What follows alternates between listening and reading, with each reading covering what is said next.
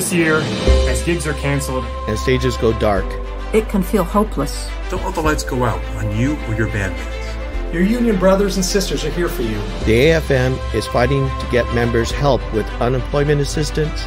We're working in DC to help protect working people. And we're standing up to get musicians back performing safely. And most importantly, we want you to be healthy both physically and mentally. Please reach out and check in on your friends. It's okay to ask if they're okay, and it's okay to not be okay. We will return again when the curtains call. Until then, stay safe, stay healthy, stay positive. Find more resources and assistance at afm.org slash help. And remember, together we are stronger. Stronger. Stronger.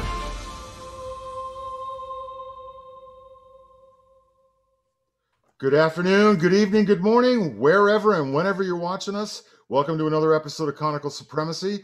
My name's John Noreyko, and I'd like to take a second to introduce my co-host and the guy who thought this thing up, Mr. Doug Tornquist. Hey, Doug, what's going on, man? Hi, John. Good to see you. Happy Father's Day. Thank you very much, sir. Appreciate that. How was your day today? Uh, just fine. Busy, busy. You know, up with the sun, uh, nonstop work. I even got in some practicing. You know, farmers market, clean the house, all those Sunday things. It's good. You know, you were you're so you're so funny. You mentioned that uh, yesterday morning. Uh, Tammy and Taryn dragged me out to the uh, farmers market yesterday, and that we have out in Corona, and I got to go more often, man. Oh yeah, the produce was off the hook. I know. It's it's all about the berries right now. Oh no, I got radishes the size this big, man. I don't know what they're feeding. It must be some type of leftover nuclear stuff or something, but they were like this big, and I'm a big radish fan. Okay. okay. Uh, hey, uh, you were saying uh, prior to the show that you're working yesterday. Can you talk about that at all? Yeah, yeah. Uh, it was, uh, you know, part of it was a record date, and we and assembled we're in the a, 1990s again. Yeah, right. I mean, it was no, it was it was even better than that. It was um, you know a full orchestra, strings, woodwinds, uh, brass, and we were over at uh, Fox. You know. Can you say and, who it was for? Uh, I think so. it was for Michael Bublé.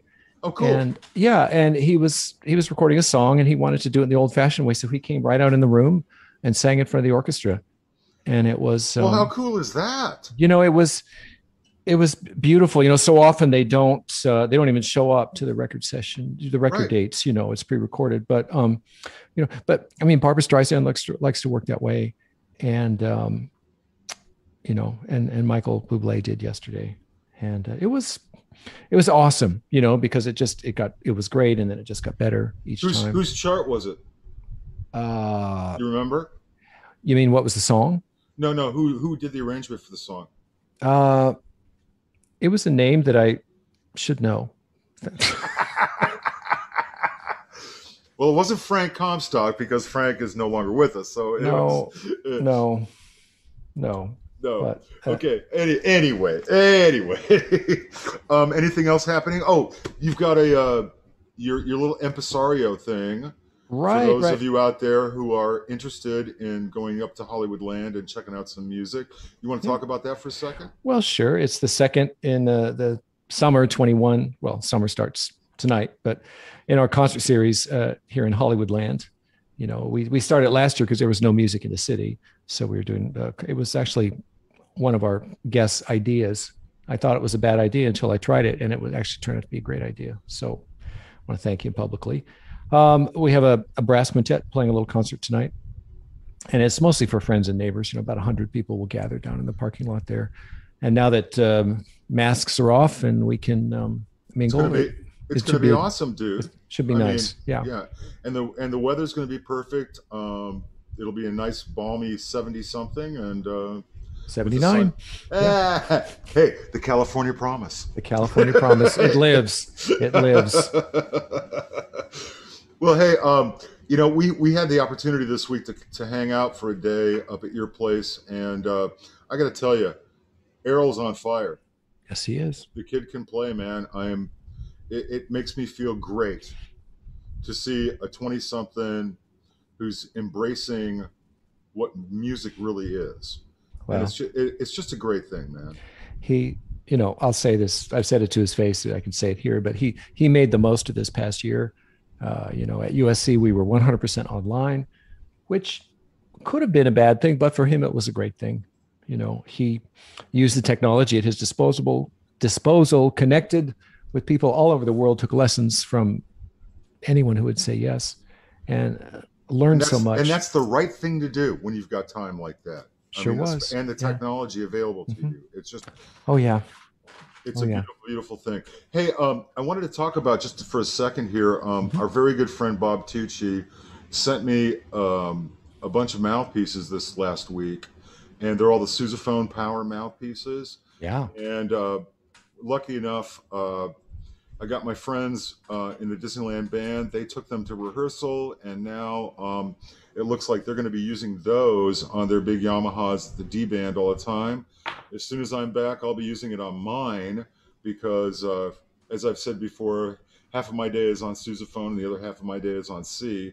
Yeah. So, uh, but I wanted to kind of uh, give the folks a taste of. Um, I used to do a lot of brass band stuff, and uh, when I was doing these live streams last year, and this has been about about a year, right? Q. It was August. It was August. All right, so this recording's from August of last year, and uh, I had a bunch of my brass band mates uh, over on the uh, East Coast say, "Hey, man, we never see you on the concerts play sousaphone or anything," and I'm like, "Okay."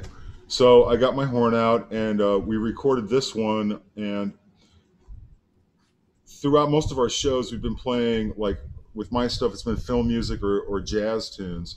And this one's actually a pop tune. It's one of my favorite Stevie Wonder tunes. And um, it just, it's, it, it's become a staple in brass band type stuff because it's so much fun to blow on. It's not a lot of changes, fun, it's got a nice hook to it. Anyway, I just wanted to give you guys a taste of a, a little uh, I Wish. So here you go.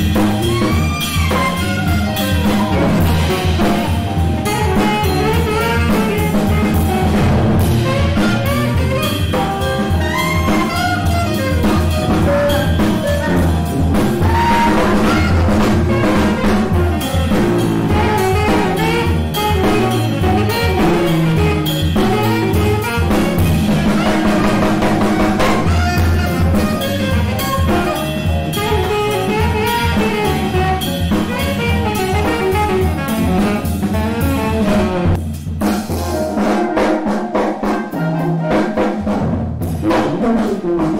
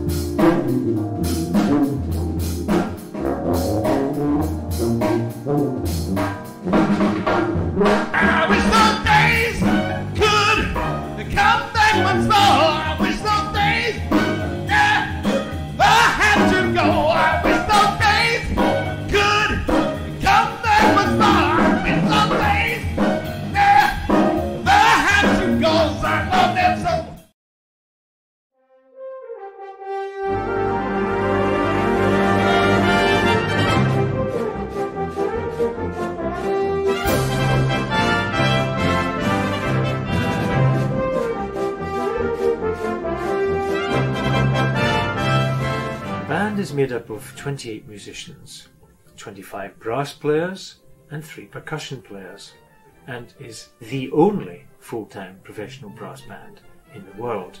Now we have five different series in various locations around western Pennsylvania. Pittsburgh's perfect for the River City Brass because Pittsburgh is an old steel and coal town, and those were the towns that spawned the original brass bands in the Industrial Revolution in the UK. River City Brass was founded in 1981. We still have some audience members that attended that concert and have attended every single concert since that time. 94% of the audience typically renews their subscription every year and have done so for a large number of years. There's no other arts organization in Pittsburgh with such a high track record.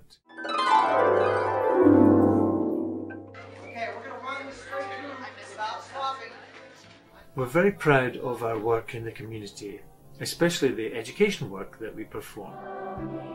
Our Saturday music program is a partnership between ourselves and Pittsburgh Public Schools. We're able to offer music lessons free of charge That also incorporates our long-standing youth band. What to pick for? River City Youth Brass Band was founded 27 years ago and is supported by members of the River City Brass as coaches and teachers.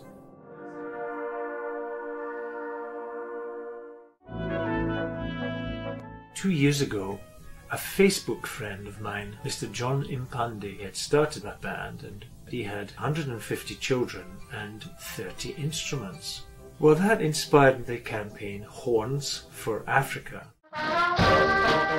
We asked people to donate old brass instruments to the River City Brass and send them on to the children in Africa. We can see the difference that that makes on their lives.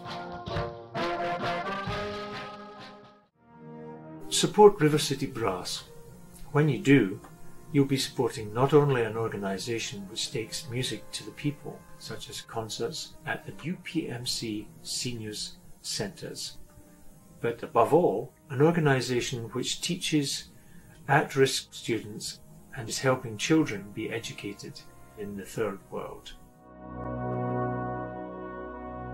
Music can really impact a person's life.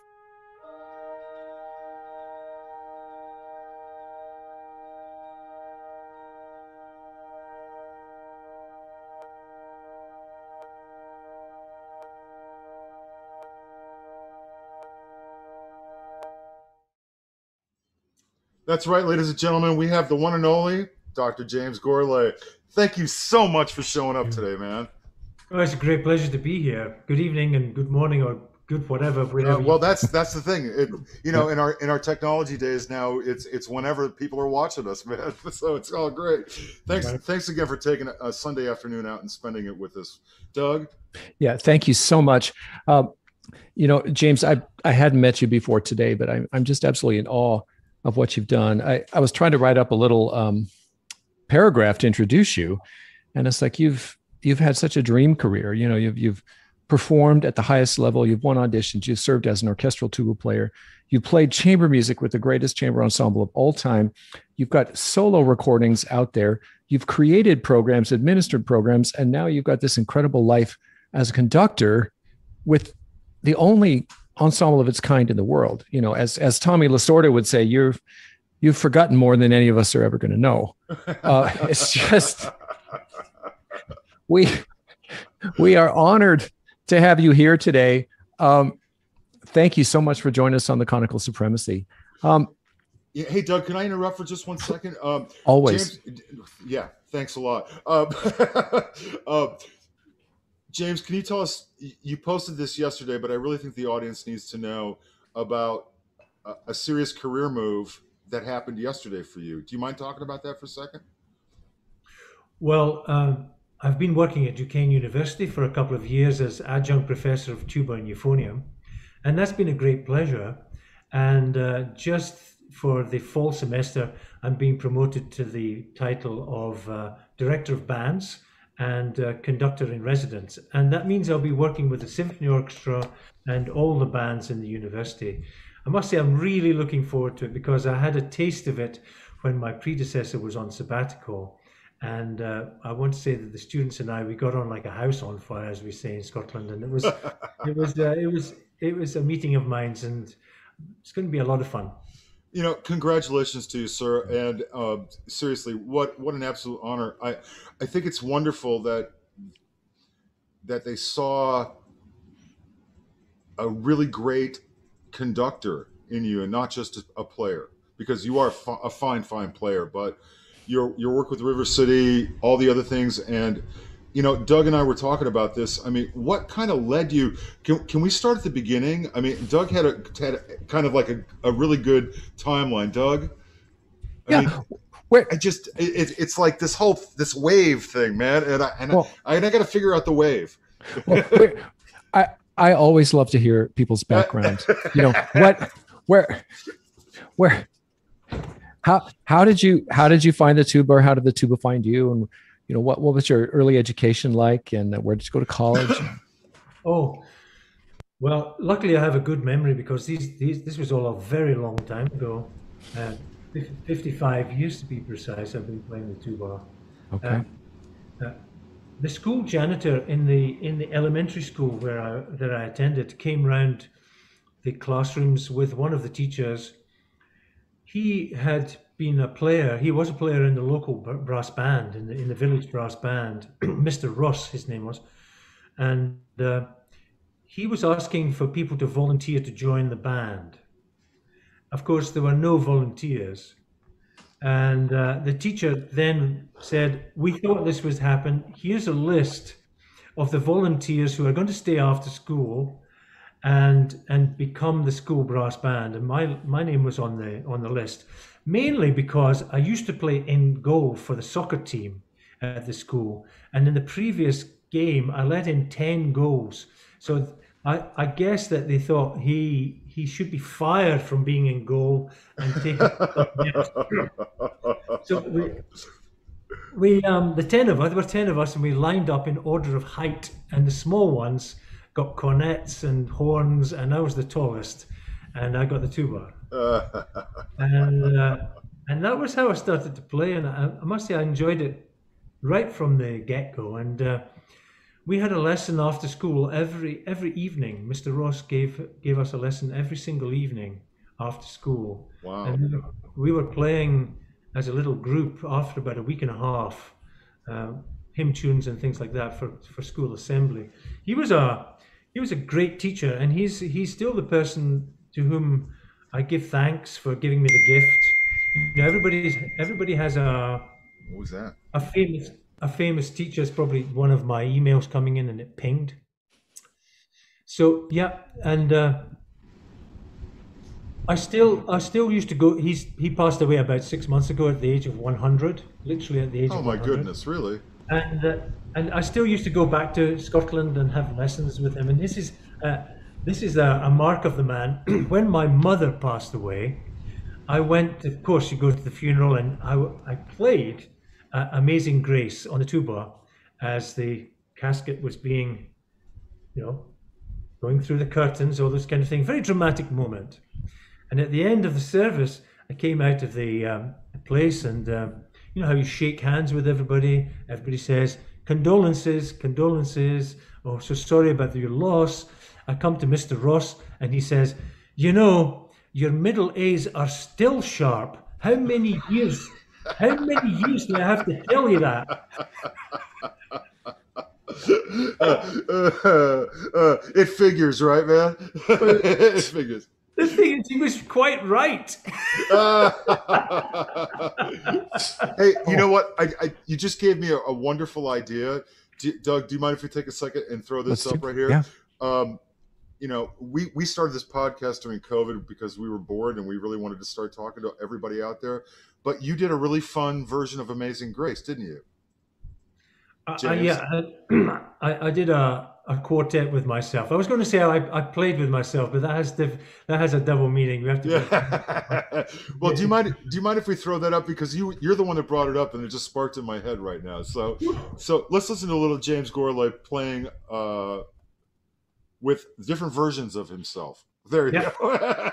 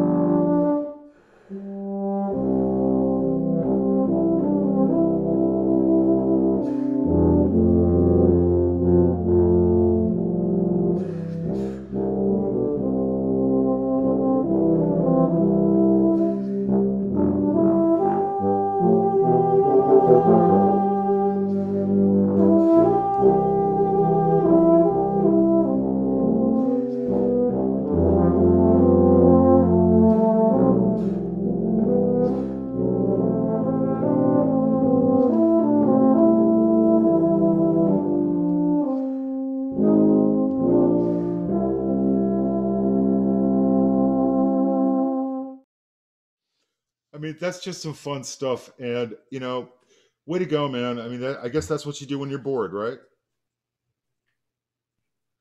What happened?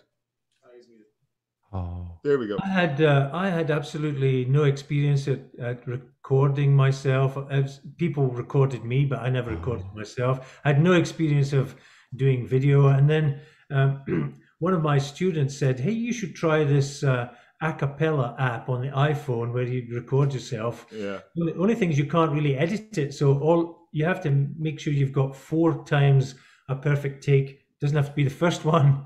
that has to be, but you can't go in and edit the sound.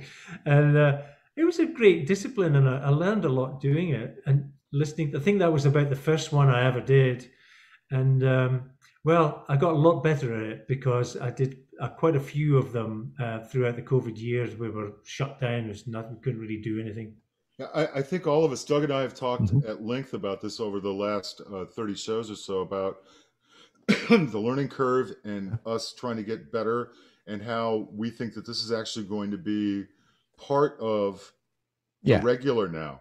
It's it's just the way it's, it's, it's going to be integrated into how we teach, how things are done, all this other kind of thing. And I, I actually am looking forward to it. I learned a bunch. I mean, didn't you, Doug? Well, yeah. I mean, I had to learn Pro Tools and I had to record. I had to turn this room in my house into a home studio, and I told all my students they had to do the same thing, and they're all better at it than I am, which is the way it's supposed to be. You know, but I think to be a 21st century musician, you have to be able to record yourself and collaborate electronically. There's just, yeah. yeah. You know, there, there's a bunch of stuff I wanted to get to today, Doug. Yeah. And do you mind if we kind of, um, I, I, wanted to move into the Gregson. Let's do it. Uh, yes. So, so let's let's talk about the Gregson for a second, if you don't mind. Well, yeah, you know, James, I I always associate that piece with you, even though I just learned it was written for John Fletcher. But your recording of that piece is so beautiful. I listened to it again last night, and I it's just, you know, it's exactly the way I teach my students how to play it. I think in the future, I'm just going to say, listen to James Gourlay's recording. That's very uh, nice of you. Thank you. How many times have you recorded that? I think I might have done it three times. One with an orchestra. There's certainly one with an orchestra, and there's one with a yes. brass band. At least one uh-huh. with a brass band, yeah. and I think there's maybe even one with a wind band. Right. Uh, James, uh, James, do you recall which orchestra? Yeah, the orchestra was the the orchestra of the Royal Ballet in yeah. uh, in London. Mm. It's, on, it's on a Naxos CD with uh, Vaughan Williams and some mm-hmm. other pieces as well. And yeah. uh, that was a fun project, very much so. Was was that your own project? Were you um, were you promoting that, or did someone say, "Hey, let's record these tuba concertos with James"? No, uh, I I uh, I approached Naxos with the idea. Wow! And, and, they said if you can raise the money to pay for the orchestra and the film and the session and all that, mm-hmm. and I did. Uh, okay. Of and, course you uh, did. and, uh, and it was really a lot for me. It was fantastic because uh, the studio in which we recorded that CD uh, was the same studio I played the super played in on Superman two and Superman three, and also uh-huh. the Batman movie, Phoenix Studio in Wembley, London. And to give them a call and say, "Hey, you know that guy that some comes comes in here and plays the tuba for you sometimes?" Yeah. Well, I'm going to book you guys. to, to make my CD. They said, get out. Actually, they said something with off at the end, but you can't say that. get, out of, get, out of, here. Uh, and so I gave them the date, sent them a deposit, and uh, it went from there. But uh, yeah, I, I, raised the cash and uh, booked the orchestra, booked the booked the whole thing. Well, money well spent because it's a beautiful recording. Absolutely. And, and and before we, th- I want to I want to play the first movement right now. But when it comes to this piece of music, I have a student that's working on it right now. I think all of us have a student that's working on it right now. What's the one? What's the biggest takeaway for you, James, um, on this particular concerto, as far as character or getting through it, and you know that thing that you would tell, like even your students? I mean, how do you tell them to get through it? Because I'm just curious. well, I, I think this the the opening, for example, is all about it's all about majestic sound and tone, and also very clear articulation. Mm-hmm. And when you cut when you t- do that page turn and you get into that that lyrical theme, it's marked legato. I think you can put as many slurs in as possible so that it does come out as a line. Uh, you're going to need a lot of stamina because once you get to the end of the even the first movement, it starts to you start to get a little bit tired if you're not in good shape. So I always have my students um, practice their scales, which they do. Otherwise, they don't get a, a proper lesson from me. And uh, amen, amen, brother. and well, I also do them in the class with them, and we do uh, two octave scales working in a cycle of fifths. So we go, we're going through all the keys and we're going through all the range, and I think that helps them cover the range of the Gregson very nicely. So it goes down to what a pedal D or something and goes up to a G. Right. But that that range uh, is something that I think you only get good at by doing, and so something that takes you out of the music. So you train. The idea is that you train yourself to be able to play the piece. You don't repetitiously practice the piece. Otherwise, you'll just become dull and boring. Be like your performance will be unbelievably unspontaneous. But if you've got the technique, you've built up the technique and the range and the tone and the sound and the articulations, then you can deploy them almost spontaneously, and then your performance just takes off onto another level. That's my Yeah. I, I couldn't agree with you more, James. So let let's hear that in action right now. Here's Mr. James Gourlay.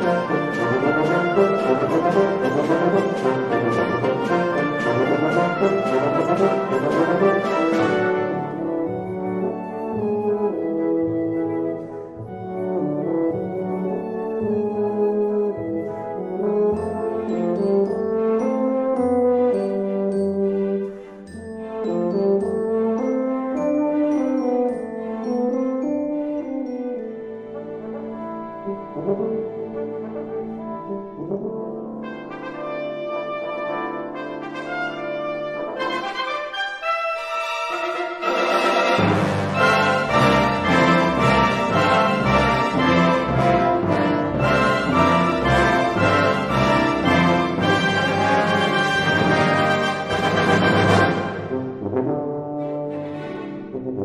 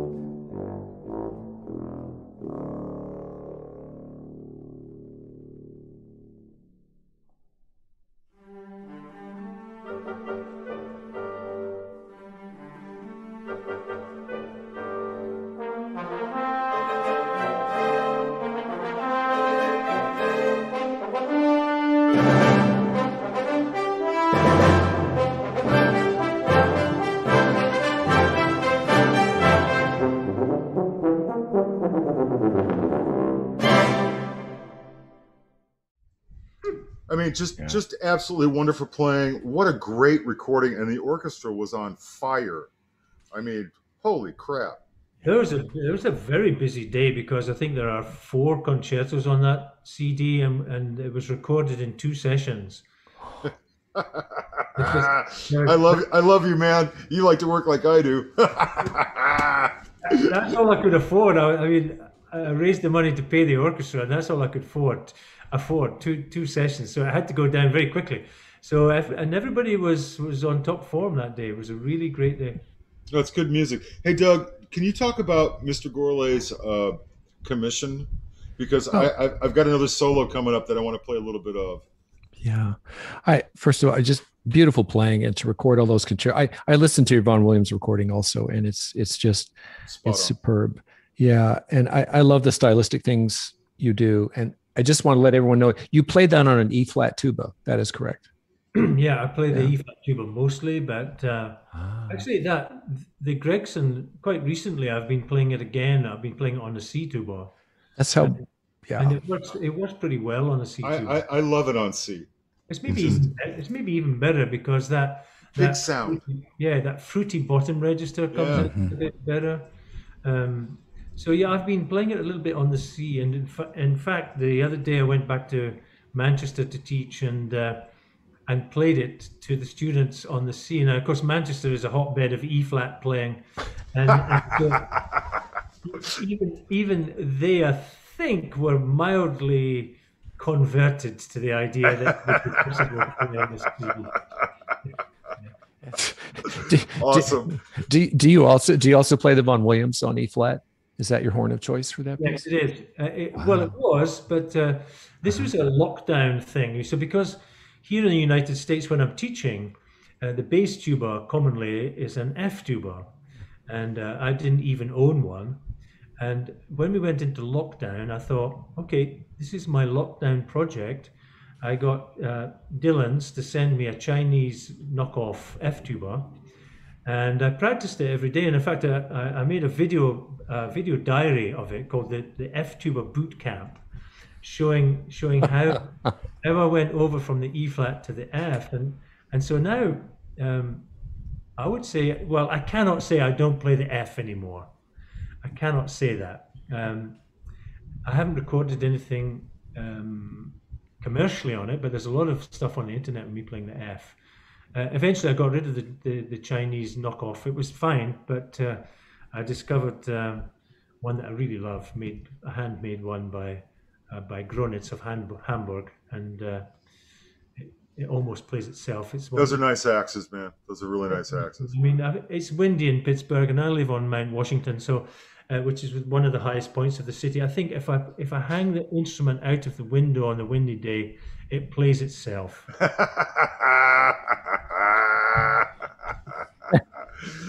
uh, that, that is that is a poem waiting to be written. Amen, brother. um, so, uh, I was amazed to see that you are responsible for over fifty commissions. Um, can you talk a little bit about that? I mean, when did you start doing that, and and what are some of the pieces that have come out of that? Well, um, I hope you're not going to ask me what you know. List the fifty of the. No, no.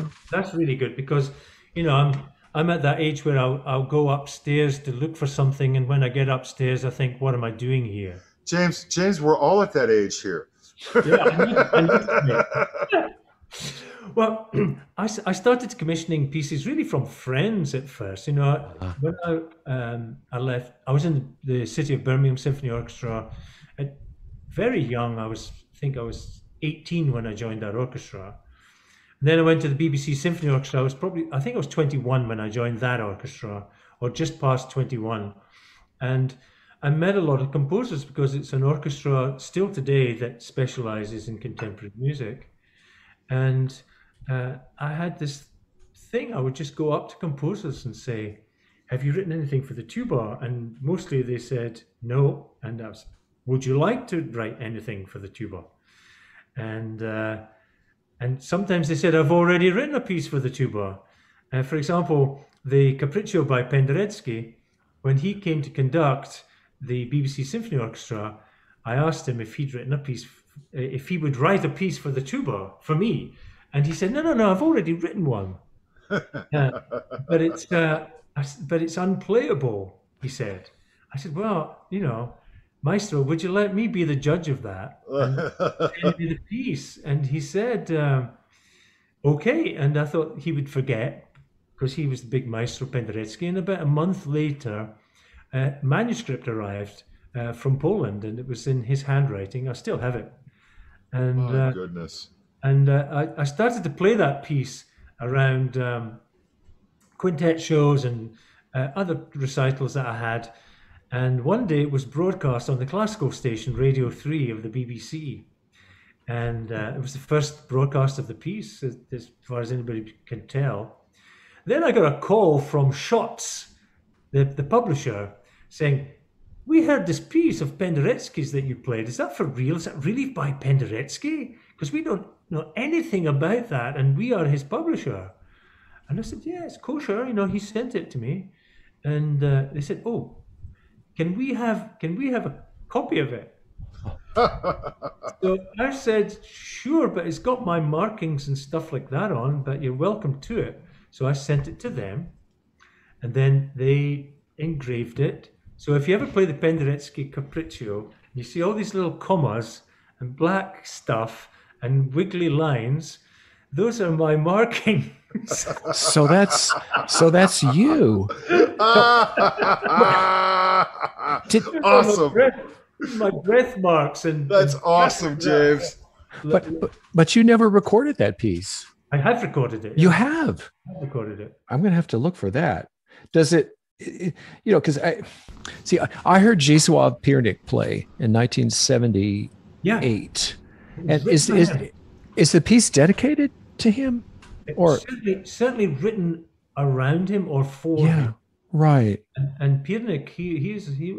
I met him in Birmingham in the late seventies, and uh, he's a lovely man. Oh yeah. Yeah, and great, and and so interesting what he did with the tuba. You oh know, yes. That that uh, they had tuning slides. Yeah. That had uh, garden hose pipes running out of them, connected to windmills, and I just oh, yeah. blew my mind when I huh. saw that for the first time. Oh yeah, he was, he was quite a show. Um, he just okay. Well, I, I may have some questions for you later about the temple relationships in that piece, but we'll we'll make that a private discussion. So, are are you still commissioning works for yourself? I am, and I'm also writing pieces now. Oh. Um, I've just had two pieces published. Uh, and one is called Steel City Scenes, and the other one is called Mirrors, and they're both they're both for the big tuba, both for for con, a contrabass tuba because yes. I found it teaching at Duquesne that there was a bit of a dearth of pieces of pieces that that students could play on their C tubas. Because if you look at a lot of the competition repertoire, particularly, it presupposes uh, an F tuba or an E flat tuba, yeah. and a lot of the the, uh, the solo repertoire is commissioned by and played by or written for folks like me or Baadsvik or F tuba players, uh, and and so there's a whole there's a whole swathe of of young players that can't play that repertoire or struggle to play that repertoire. So I thought, well, you know, if they're going to play awful pieces, they might have played terrible pieces that I wrote for them. That's right.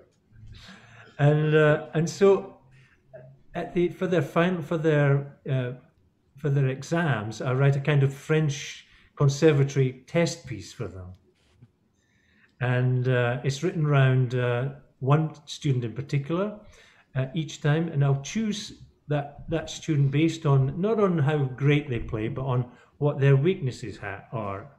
Right. And then and then I'll write all of those things, those weak things, into the piece that the person has to work on for three or four months. And hey, lo and behold, those weaknesses are suddenly turned into strengths. That's, uh, that's a beautiful thing, James. Way to go! I just I just finished a piece for uh, uh, uh, and I'm totally in agreement with you. I think most of the C tuba stuff out there is just not.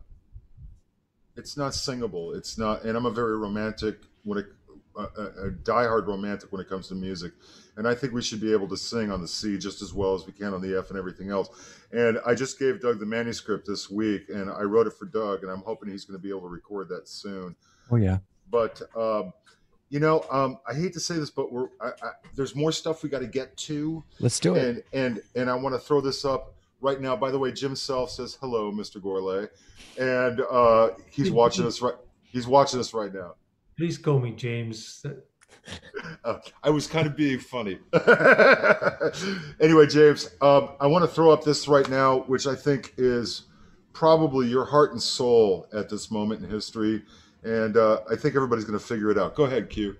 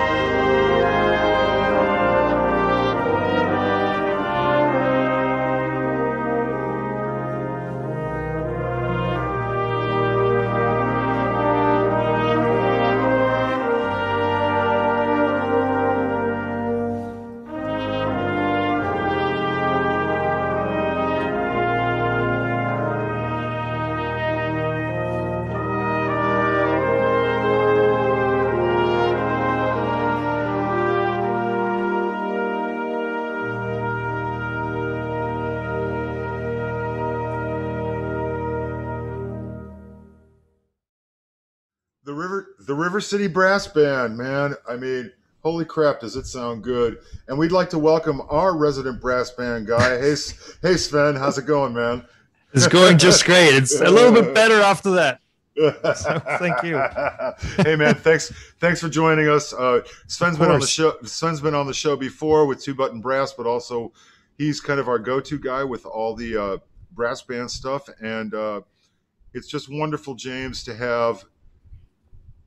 First of all, you're a wonderful conductor, and I think you really get as much out of the group as you possibly can. And knowing the music as well as you do, because you grew up with this stuff and this sound, I think you've kind of catapulted this group into the 21st century and given it a home and a place there that's more accessible to people to listen to. Um, Doug was looking at, I mean, Doug, I mean, he, has got funding, he's got all this other stuff going on, right, man? Well, I looked at the website and, you know, an organization like that performing at that high level takes a lot of people working very hard. And uh, I just, what a wonderful organization that is. And the fact that you're able to compensate your musicians for their time uh, and give back to the community of Western Pennsylvania. how, how much of this was, did you build all of this or was this in place before you came on board with River City? Oh, a lot, a lot of it was in place. Uh, it was formed in 1981 by a, a, visionary man, Robert Bernat, who went coincidentally to one of the bands that I had worked with, the Grimethorpe Colliery Band. He, he went on a Fulbright scholarship to do a social study about brass bands in the in the north of England and their impact on the community. And and so immediately that um, Sheffield, which was actually twinned with Pittsburgh, a steel city itself, was a hotbed, literally a hotbed of uh, brass band activity. He thought that would be easily transplantable back into into Pittsburgh, which was a coal and steel town at the time. Blue collar workers, blue collar audience, they would like that kind of music. And he was right. I mean, he he started with one concert and and started to build on it. Now, uh, the band when I took it over in 2010 was in tremendous financial difficulty. They were close to bankruptcy. And when they invited me to become the new music director, I thought I would be here for a, a couple of months. You know, my my wife and I, we thought this would be a blast. We'll go to the United States. It'll be like like being in a movie, and we'll come back and we'll pick up where we left off. And so I told all my employers, the Grimethorpe Colliery Band. That time I was working also at the uh, orchestra of the Academy of Santa Cecilia in Rome as a tuba player. And um, I said, Look, I'm gone for a couple of months, but I'll be back. They said, Good enough. and uh, I'm still here. It's, it's my 11th season now. and uh, well, what happened in the in the very first month, really, because we have a, a monthly concert season is that the ticket ticket sales from which we really depend uh, increased by about 20% over what over the previous uh, series concerts. And at first we thought this was just curiosity. They wanted to see the the the new music director or the this this funny scotsman. And um, well it kept on increasing. And then we got closer to being uh, solvent or it was always a struggle living hand to mouth, but we were living. And uh, just before COVID, we were in the best financial position we've ev- we ever have been in, uh, with surpluses in the bank and making surpluses every year uh, for the last four or five years. You don't say profit because we're a non-profit organization, so we use that that little euphemism, a surplus. And so, as a business, uh, it has grown in the last 10, 11 years quite nicely. When when I took over the the organization, we were close to 400 to 500,000 dollars in debt, long-term debt that we had no way of paying. And now we have a, a good um, 300, 400 in the bank surplus, uh, which we're going to use to finance the upcoming season when we reopen again uh, uh, after the fall. How many so, weeks? How many weeks season do you have, James? Well, we normally we normally have um, uh, seven months of the year we have five concert venues. So we have five concerts, a little break, rehearsals for the new for the next series, then five concerts, and then that pattern goes through. Starts usually in September and goes through to December. Then January and February are, difficult months to put concerts on here in Pittsburgh because of the weather, but we re- reopen March, April, and May. So, so in a in a normal year, uh, we self present about um, for the musicians is about sixty six paid services. Uh, and then on top of that, we have engagements from other presenters that book us. So in a good year, we could have as many as 90 to 100 concerts. It's wonderful, man. That's just yeah. That's just wonderful. That's that's such a beautiful thing. Um, Sven is building brass bands here in Los Angeles, yeah. and he built a great one, which uh, you know we couldn't recreate because of COVID, but he's starting up again. And there's uh, what advice do you have for someone who's starting a brass band program in this huge city, which has very little brass band presence? Which should have one. Sure. yeah. Players are here. That's probably an advantage that, that there's no no uh, brass band presence. There was nothing here until um, Bernard made it happen, and he recruited players um, that weren't in symphony jobs that were good enough to, to be in symphony jobs. In LA, you've got plenty of fantastic players. Yeah. A, great, a very deep pool of good freelance players. Um, what I, I did when I arrived in 2010 is I decided not to try and make it sound like a British brass band. You see, that again. I, I can say this because I am one now. Uh, we're an American brass band. Be, and we we we want to be different we want to want to be unique and if we want to and what's the point of copying black dyke or Foden's or Fairey's or any of those there's no point to that because one it'll always be a copy and a copy is always substandard and b we americans i'm going to say it out loud because i am one we americans we don't have that tradition it's not in the blood well, no, I, I, James, I think you bring up a really important thing, and this is one thing that Doug and I have talked about at length on our show, is that um, our students. I always tell my students, and I know Doug does the same thing. Why do you want to sound like me? You want to sound like you, and exactly. this, and, and this brings up that whole thing about why should a band or an uh, organization sound like somebody else. They should have their own personality. They should have their own sound. And that's what makes it not only unique, but also drives people to come and check it out, right? I mean, you wouldn't have the audience that you have right now if you sounded like Black Dyke. You sound like the River City Brass Band. And and as Sven, we we listened to a couple of Sven's rehearsals before, and it's not, it doesn't sound like any of the the British guys. It doesn't sound like any of the Norwegian guys too, right, Sven? It just no, it doesn't. Yeah, it sounds like this this West Coast thing, and, and yeah. I, and I don't think that should be diminished by anything. As a jazz musician, you know, we used to be looked down upon. Well, you play West Coast jazz as opposed to New York jazz. No, and I'm, I'm not kidding. In, in those circles, there's there's this weird thing like West Coast jazz is substandard. I mean, you don't make it until you go to New York. I think that's BS. I think it's just this this culmination of people here creating this sound, just like you have this culmination of people here making this sound, and yeah. and and they're both good, right? Yeah. And and and in fact, I would much rather hear that because every time you know, I didn't check out your band until just this last week or so, but I've I've listened to a number of different cuts, and you guys sound like you guys. It's a beautiful thing. It really is. No, and and, and kudos, man. I mean, um, we we had another. Uh, who was the Kansas City guy, Doug? That I'm forgetting. Joe, Joe Dr. Joe per- yeah, yeah, Parisi. Joe, Joe. So Joe Parisi, and he sounds. He doesn't sound like the British guys. He sounds like them. It's just them, and and that's a.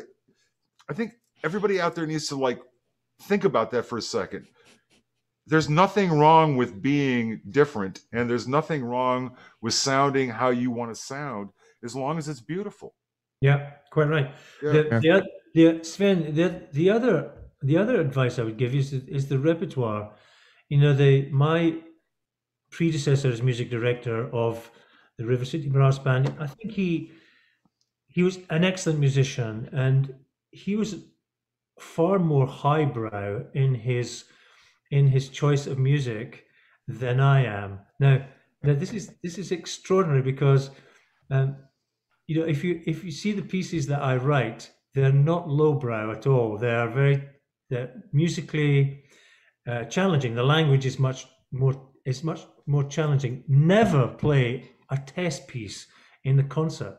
You'll switch the audience off. Just don't Right. even don't even think of it. Right. Um, and you see the things, my audience that come back every year, um, they're they're largely seniors. That's a huge market. I mean, Right. People think people think, oh, the audience, oh, what we're going to do to get the young people in.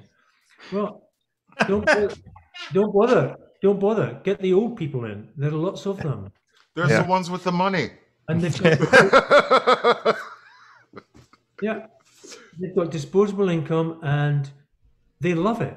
And you know, don't aim for brass players. I don't think there's a single brass player comes to my concert, and mm-hmm. and and I don't I don't care whoever wants to come. They come for a nice night out, and uh, and they get it. And they get they, they they write to me they write to me personally on letters and postcards believe it or not Awesome. and sometimes and sometimes an email you know I'll get things like James you need a haircut and then one, once a lady came backstage from the audience because she said, "There's a there's a there's a fleck, there's a thread hanging on your jacket that's just been annoying, annoying the hell out of me." and and uh, you see the thing, so we sell them the tickets, so we know their details. You know when they have a birthday, for example.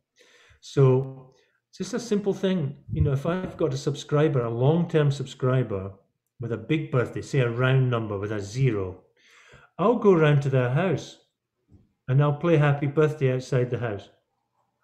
They're probably going to be, they're probably going to be in because, you know, if they're 80 or 90, they're not going many places. And uh, and then there was, you know, there was a wonderful thing. We we did a, a Glenn Miller show, and do you know, this this guy comes up to me in the intermission, or what I used to call the interval, and we had played Pennsylvania Six Five Thousand, and he's and he's an old guy. He's in his nineties, and he's but he's still you know very sprightly, and he says to me, "That was fabulous." You know, I had the first performance of that at the Pennsylvania Hotel, uh, wh- on, and it was my honeymoon. His wife was there also, you know. And I think, what an amazing thing. See, we take them with that kind of music, we take them down memory lane. And in that moment, they, they hear that piece played nicely. They are transported. It's a time machine for them. And they're holding hands in the audience and they're remembering their honeymoon at the Pennsylvania Hotel in New York City. That gets them back into the hall. You know what? That Yeah. it, the beautiful things, man. And and speaking of that, I want to push this up right now because what a great segue. Talk about programming. This one is one of my faves, and uh, you know, let's let's just watch it. Watch it.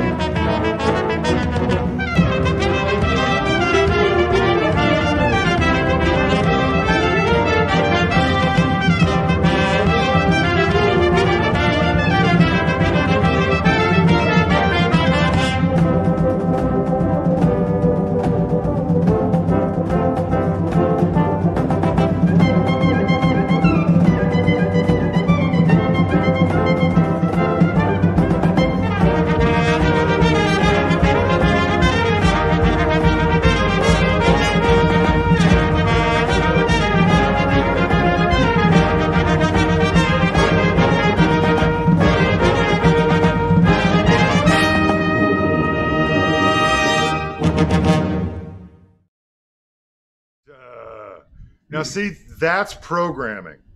I'm, I'm sorry, that's just fun stuff, man, right? It's not Well- only fun for the band, but it's fun for the audience too, right? There's a clap along piece as well. Yeah, man. Yeah, so you get the audience clapping along, and then yeah, it's, it's funny. Yeah, we have a lot of fun with that uh, that particular set, which- which we call Celtic Connections, and we have it every year in March, and we have bagpipes and we have dancers, and we we link the Irish and Scottish traditions to bluegrass and country country music, that kind of thing. It's quite fun. Well, that's because the Irish and the Scottish are the best music. Anyway, uh, and, and there's a stack there's a stack of them around here in Pittsburgh.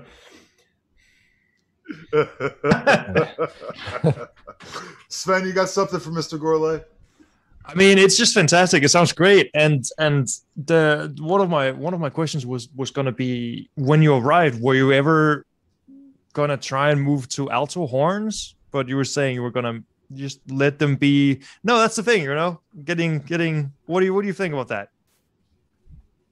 I, I never thought to change the French horns to the to the alto horns. Um, we I get that question quite a lot actually. Yeah, I can People- imagine. Yeah. People send me, particularly from alto horn players, you know. um, it would be hard to find good alto horn players around here. You have to get Sheona White to come over and play on something like that. Well, you could get them as a soloist. I've had, I've Right. had, a, I've had, um, I've had Paul Bennett over as a, as a soloist, and that was really nice because it was a very different sound to us. Right. And uh, as a solo instrument, it was very beautiful to have that, and the people liked it. But you know, uh, no one had ever ever seen one before. right. My my not my musicians either. They'd never seen one Right. and, and the audience had never seen one, so they could have come and played the Highland bagpipe. It would have been the same Yeah. thing, really. But but the way we played, I think the French horn is really great. You know, because we, you know, the the sound is much more towards the trumpet than the the European cornet sound. if Right. Right. The trombone players all play in symphony orchestras, and so do the tuba players. So the sound is much straighter. Right. Now we do a lot of um, film music transcribed for us, and uh, then the French horns are just killer, you know. Right. Whereas, whereas the alto horn would be, with all respect to, to the great players that play it, would be somewhat weaker. Right. I mean, yeah, I noticed there was a lot more um, projection. I guess you could say it, brightness, brightness in the sound, buzzy, buzziness. Like when I, I listened to your Gale Force uh, recording, and it, it's it's it's it's good stuff. I really I really like it. It gave me a lot of ideas on how to. Because I definitely went into building brass band in in in in LA as as I'm gonna come and recreate Cory or Black Dyke or you know mm-hmm. all those. That's that's just not gonna happen. You know and we're doing a, a recording project right now and and i'm noticing how straight how sustained everybody's playing yeah. there's not the wobble on it no and i have to really stop myself in like trying to get people to do that but that's that's it's going to be a completely different project i'm going to let it yeah, yeah, as you said don't don't recreate it so i'm just going to let it live but, but sven sven what's wrong with that Nothing. What, Nothing's wrong with yeah. it. I mean, we all we all we all have these preconceived notions, and sometimes right. sometimes that magic just happens. And, and it's fantastic. And it's, it's, it's and, yeah. and you have and you just have to recognize it that it is magic. Yeah, yeah. We we are we're doing we're recording uh, Lee Baker. Are you do you know him? Yeah, yeah. His his arrangement of of Eventide, and it's I it's it's it's incredible. It's incredible with how how it's yeah it's it's gonna be it's completely different than what I'm used to, and it's it's I, am really excited to hear the yeah, I don't think...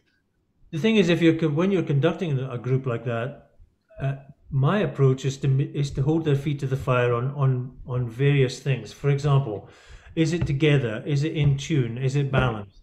You get those three things right, then a lot of things are just going to sound fantastic. Right. And, if you try and change a player's, uh, let's say, in the blood way of playing, right. you waste a lot of time. And you know i'm paying my guys so i haven't got right. a minute.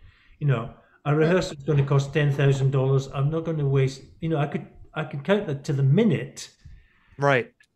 What each minute is costing me. So i'm not going to say oh excuse me would you would you put a, a vibrato on that like like this guy in england. No that'd be a waste yeah, of money. no. and i'm not scottish yeah. i'm not scottish american for nothing. Yeah. Yeah no yeah. Yeah. I, I yeah who am i to tell my the musicians how to how to you know use their musicianship? That's that's not yeah. And also yeah they'll resent they'll resent it. I mean yep.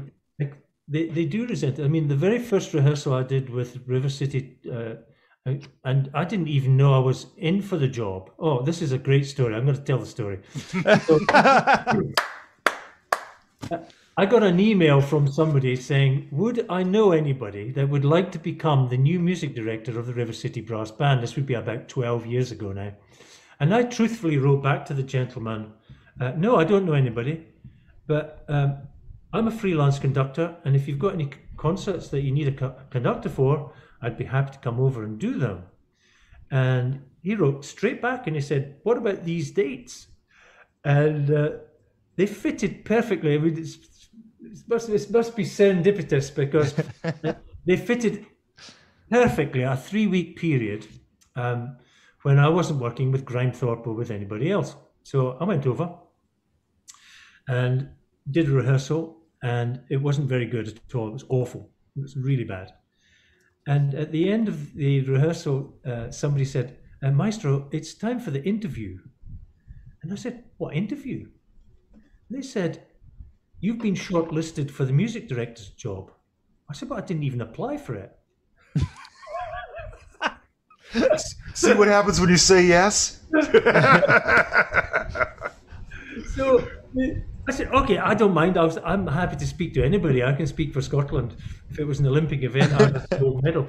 So they sat in, it was like Shark Tank, or like that program on the TV. They sat in the hand places, and there was a there was a seat in the middle for me to sit, and I sat down.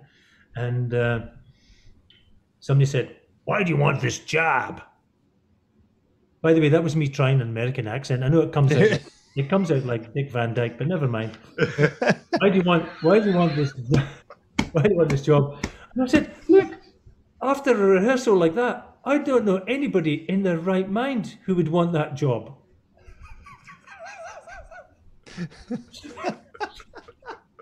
and you can imagine the air was, was promptly sucked out of the room. and, and everybody, they were looking at each other, and I said, Any other question? And somebody said, Well, if you were interested and you did get the job, would you move? To, it's a big FFF. I said, would you move to Pittsburgh? And I had to. Th- I thought that was an, the the best question, and I said, well, whoever whoever you choose is going to be the face of the organization.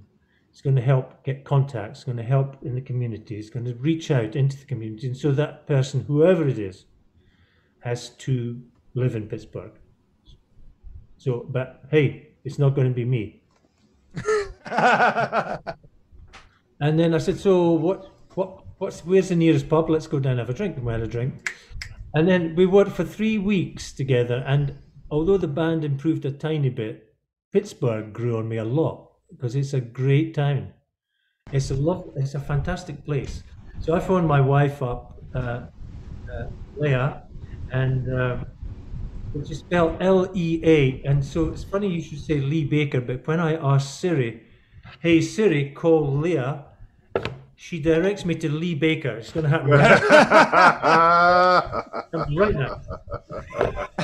So um, she, uh, she, came over on a, you know, practically the next flight, and we looked around and said, what, what do you think? This is a nice place. And she said, yeah, it is. Now, just to put it into context, in those days, I had about 250 nights in a hotel somewhere because I was commuting between the, the north of England and Rome.